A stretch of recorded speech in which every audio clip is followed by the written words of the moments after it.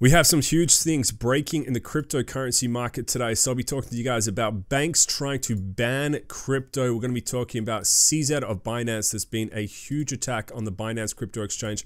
We'll be talking about that, Elon Musk, plus a lot more. So everything you need to know in the crypto market today, we are going to be covering it right now. So if you guys enjoyed the updates, hit the thumbs up button. Let's get into the video. The first thing I want to do in this video is actually shout out you guys who made some profits on Wall Street memes. So it was a crypto we have been covering on the channel and right off launch, it actually got up to around five cents. So some nice gains happening on that cryptocurrency. As always in crypto, always remember, you know, high reward, high risk. Some will do well, some might not do well, but it's always good to be making profits, taking profits in the crypto space. And I think if Wall Street memes continues to pump out the tweets, builds up the community, could be a very exciting crypto to check out over the long term. But shout out to anyone who made some gains on that cryptocurrency right there. And guys, let's talk about what is happening in the crypto market right now. So the first thing to know is a little bit of a quick update on Ben Armstrong. What's happened? People are interested. Let's cover it. So Ben Armstrong founder of BitBoy Crypto Channel. He's been released on bail after arrest. So he did get arrested by the police. What he was arrested for right here, they spell it out. He was arrested on charges of loitering slash prowling and for simple assault by placing another one in fear with a bond of about $2,600. So he wasn't charged for anything else. He wasn't charged for having a gun or anything like that. You know, that's quite legal in the United States. And we do know there is a lot of conflict still happening between Ben Armstrong and uh, he wants to get his YouTube channel back.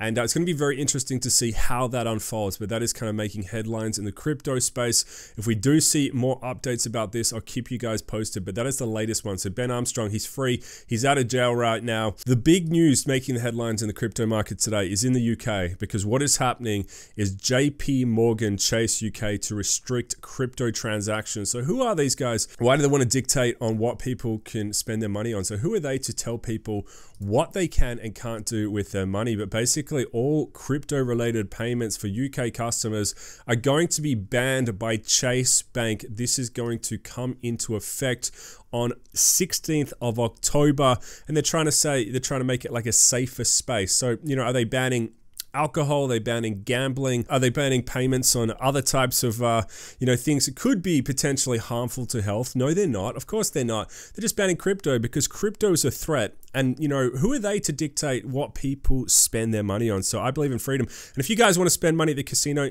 I, I reckon you should be able to do that. If you want to buy yourself some beer, I say you can do that too. You can spend money on whatever you want, but who is Chase Bank to tell you what you can spend your money on? But what I predict from this is I think a lot of customers will actually end up leaving. So how painful will be that if you just want to buy your favorite crypto? Maybe you want to buy Bitcoin, maybe you want to buy some SHIB, maybe it's XRP, and Chase Bank is saying, no, you cannot do that anymore.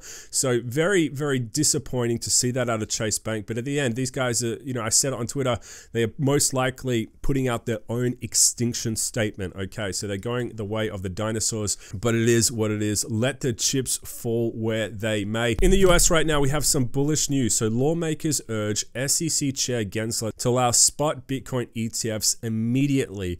Okay, so this is good. So some US politicians working for the pathway of freedom in the US so they are urging Gary Gensler to get on, do his job, approve the listing of spot Bitcoin exchange traded products immediately. And uh, you guys know Gary Gensler, he's just slowing down the market, he's stifling the market, trying to FUD the market.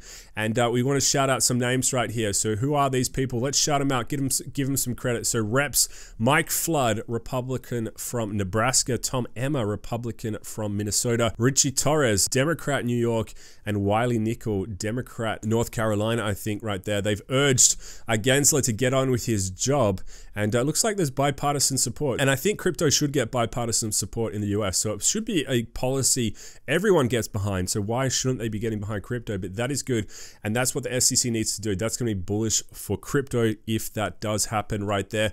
Also, Ethereum hits $10 billion in revenue faster than Facebook and Microsoft. So how does it generate revenue? I was interested. I was interested interested to see how they classify that, but it has hit $10 billion faster than the other big techs, and it's coming actually through in terms of fees on the Ethereum chain. So every time you guys know there's a fee that goes through, transaction goes through, bit of money needs to be paid in Ethereum gas fees, and it's actually hit, you know, $10 billion faster than some of the other ones out there. So very impressive to see this out of Ethereum.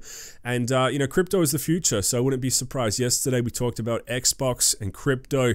You know, this adoption, it's going to accelerate. It's only going to get bigger. I'm getting excited. And guys, let's talk about the big attack on Binance right now. So have a look at this one. The world's biggest crypto firm is melting down. So we've heard this over and over again for years on end. But you know what? It hasn't melted down. So this time it's coming out of the Wall Street Journal. Big FUD attack against CZ. And uh, over and over again, we basically see more and more FUD, you know, getting put towards uh, of Binance. And you also have to remember who were the people promoting FTX, promoting Sam Bankman Fried as basically the saviors of cryptocurrency? It was the Wall Street Journal. So CZ actually posts this. And if we bring up these pictures, look at the headlines of this one the 30 year old spending $1 billion to save crypto. Sam Bankman Fried, owner of an expanding crypto empire, is trying to bail out the industry after a sharp downturn. Was he, or was he just trying to get money to uh, give to political parties through his parents and buy? mansions in the Bahamas, guys, because they got that one 100% wrong right there. It's just hilarious the propaganda they put into our FTX right here. So they classified him as the industry savior, and uh, there's no accountability yeah, for, for some of these journalists out here, but they are on a big relentless FUD campaign against the BNB crypto exchange and uh, you know Binance CZ and uh, CZ has fired back right here. What has he said? He said right here too lazy to even post for focus on building. And that's 100% right guys. So there is a lot of uh, FUD targeted against the Binance crypto exchange. And I'm still bullish on the BNB ecosystem and uh, but I'm not going to be surprised if the FUD continues because again why do they want to take down Binance CZ and this crypto exchange is because potentially you know in the US they might unleash these Bitcoin ETFs, and they don't want those institutions going to the Binance US crypto exchange. So I reckon if Wall Street owned Binance and if it literally was owned by the big banks, they would be putting, you know, CZ as the savior of crypto and Binance as the savior of crypto. It all comes down to ownership and control. And uh, but that is what we know right now. So once those Bitcoin ETFs come on, there might be a lot of buying. There might like might be a lot of trading of crypto, Bitcoin, Ethereum, and uh, they don't want that money going to the Binance crypto exchange. There's a good theory out there that, you know, people don't want CZ, they don't want Binance to be as dominant as it once was. And Elon Musk is dominating on social media, guys. So X is basically taking over. So taking over TikTok, Facebook, Instagram, WhatsApp, YouTube as well. So it is building out to be a big platform. And shout out to everyone over on the X platform right now, but it is growing. And Elon Musk says right here, Bitcoin is the future. And that looks like an AI woman. And I have to say, AI is generating some very cool pictures right now. And uh, Bitcoin is the future for sure.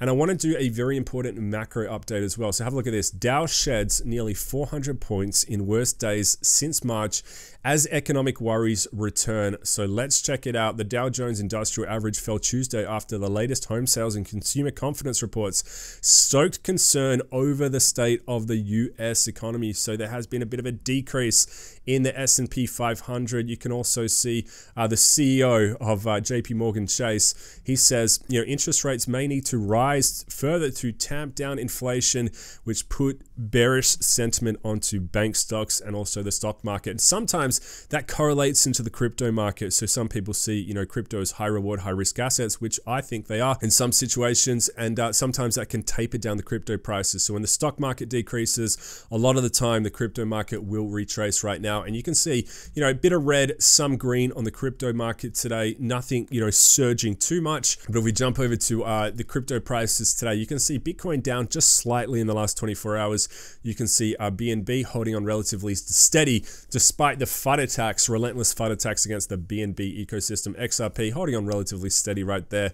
And a lot of the cryptos either trading sideways or, you know, potentially slightly retracing today. But again, you know, crypto's a long-term journey. You got to watch out for those big long-term catalysts, Bitcoin ETFs, macro bullish economy. They're the things that I think will surge up the crypto market. And if your crypto is making gains in the crypto market in a bearish market, it is, is doing something phenomenally well right there. So shout out to anyone making gains in the crypto space today. And guys, that is a massive update. If you guys enjoyed it, hit the thumbs up button. Appreciate you guys watching. Go have a good one. I'll see you guys in the next one. Crypto Zeus signing out.